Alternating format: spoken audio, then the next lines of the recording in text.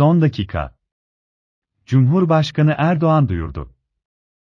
YKS tercih tarihleri uzatıldı. Son dakika haberine göre, Cumhurbaşkanı Recep Tayyip Erdoğan, 5-13 Ağustos olarak belirlenen YKS tercih tarihinin 20 Ağustos'a uzatıldığını açıkladı. Anlık gelişmeler için lütfen abone olun. Express Haber sundu.